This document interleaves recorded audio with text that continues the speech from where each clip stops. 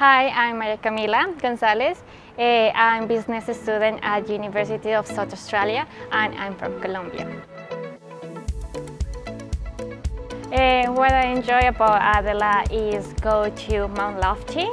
Sometimes you can see some kangaroos. You can go to other regions of Adelaide like Barossa Valley. So one of my favorite uh, activities that I like to do with my friends is go to shopping to Rundle Mall that is located in this Adelaide city.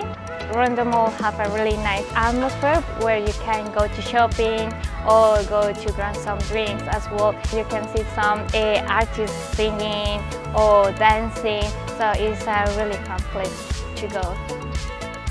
Another place that I enjoy visiting in Adelaide is go to Adelaide Central Market because it's a really good place to go and find out about different cuisines and French producer food. As well, some of these cuisines that you can find in Adelaide Market is Indian food, Spanish food, Mexican food and Colombian food as well. Not only the food is good, as well it's really affordable for students.